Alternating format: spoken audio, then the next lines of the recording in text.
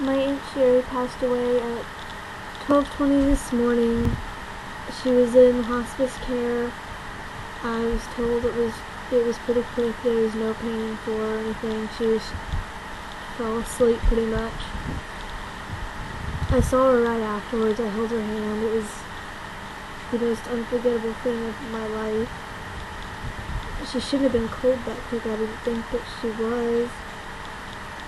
And it was like holding an empty shell. There was nothing there.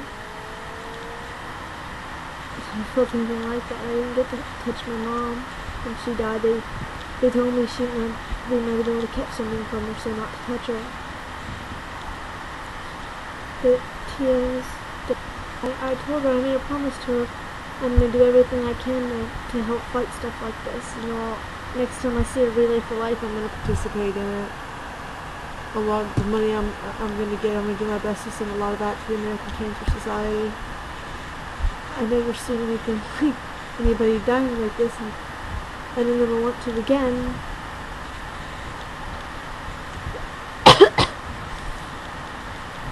And now I don't know what to do. This is your room right now. We're kind of going through it. See, everything's a mess everywhere. Or you know, going through stuff. If anything fits me, I'm gonna keep it. Which isn't really likely. She's got some skirts that fit me, but it fits it. The grandparents are out there. Um, she's gonna be cremated tonight. She doesn't want a service or anything like that, so she's gonna be cremated. And we're gonna spread her, her sister, and my mom's ashes. We'll be out on the beach one day. Don't really know yet. But, yeah, that's pretty much everything that's been going on. The only thing she really said yesterday, she told my, my, my grandmother happy birthday. Because it was my grandmother's birthday yesterday. But she tried to say something with the nurse when she came in. It came out all garbled, so she didn't, she just gonna quit on that. I didn't see her open her eyes at all yesterday because I was on my computer. It's just like, okay.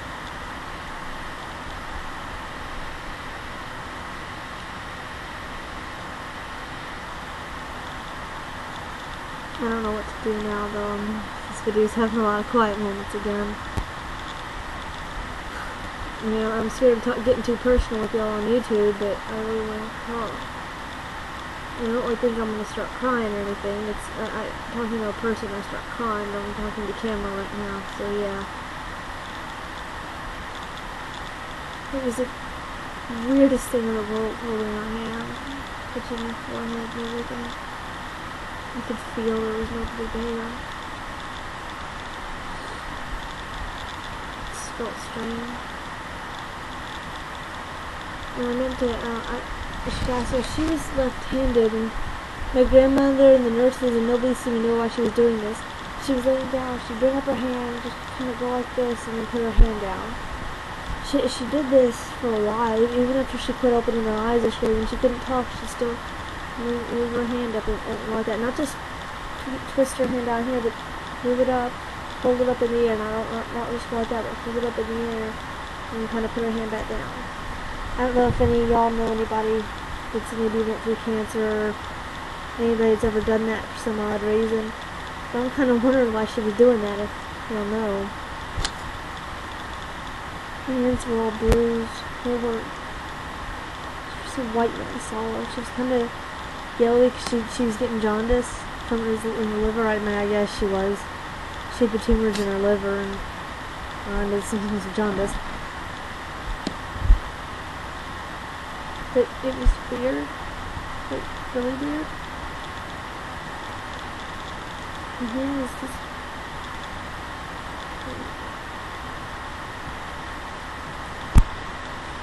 I don't know the words, you know? Um, you know, I know, I could tell you very more this had I could tell you that. Was, I mean, it was just nothing there.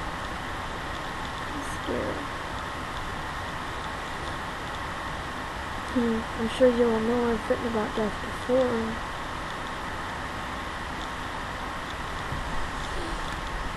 Definitely not accurate.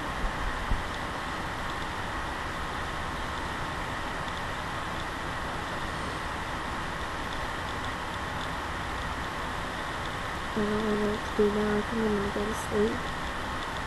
We're all tired of having cleaned out our apartment all day. I mean, not even faintly close. I mean, we just touched on stuff.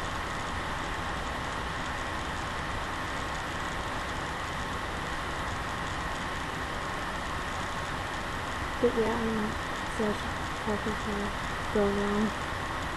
Have more quiet space in this video than talking. So I'm just gonna